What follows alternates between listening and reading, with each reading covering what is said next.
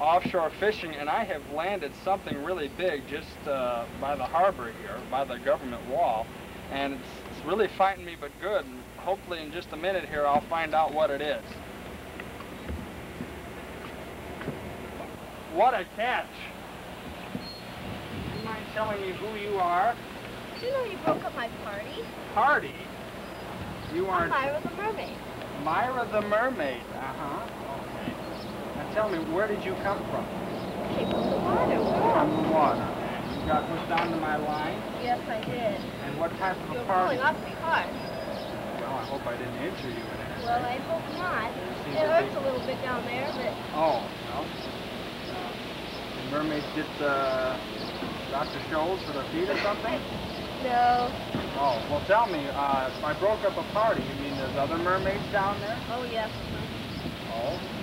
What all do you mermaids do around here? Swim, have parties, and we want to fishermen. Warn the fishermen. Oh, well, I'm somewhat of a fisherman myself. I mean, what do you have to warn us about? Oh, bad weather, or things of that sort. Oh, well, you are aware that we're having a grand event out here, the American Pan Am Games. What do you think of that? Well, I think it's going to be a little bit of fun, but sometimes the fishermen really break us up a lot. Oh, tell me, how far deep do you live in the water? Oh, anywhere. We swim everywhere.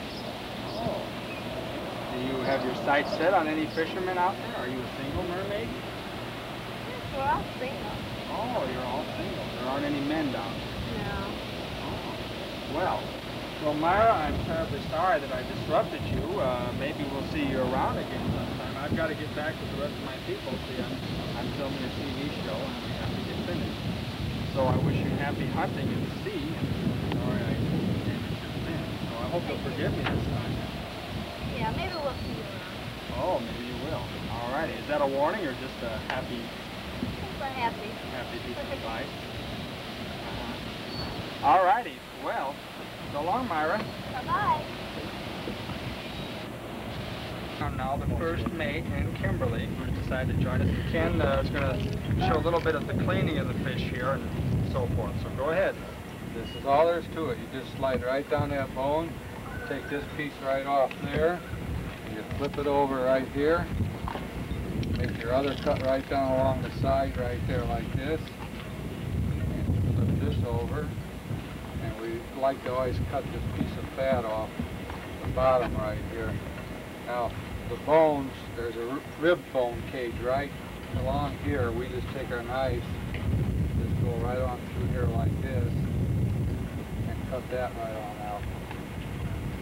Now that piece is almost ready there. Do the same thing here on this one.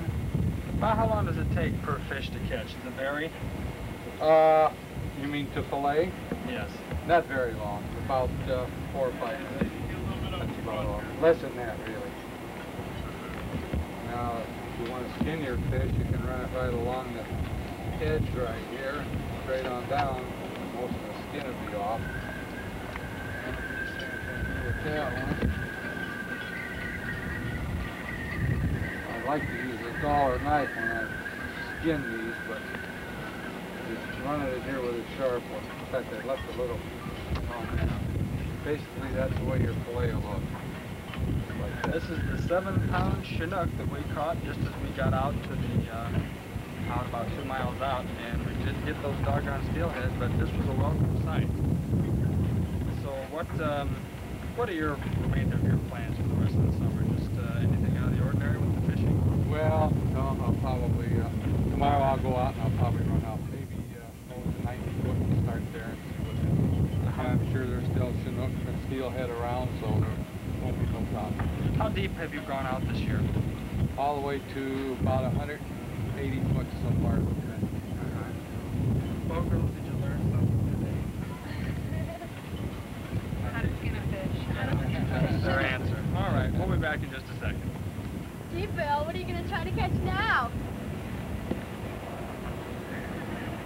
I think you tried to catch that stupid mermaid. Oh, well, no. I just happened to see something dark green floating in the water here, and I want to try to uh, you know, get down in here somehow and try to catch it. We had a successful show today, so those of you who are interested in charters or believe in mermaids, why don't you just come on out and see what you can go. That was good. well, if she's there, I hope she comes and rescues me. That's kind of nice. We'll see you next time on Interesting Individuals.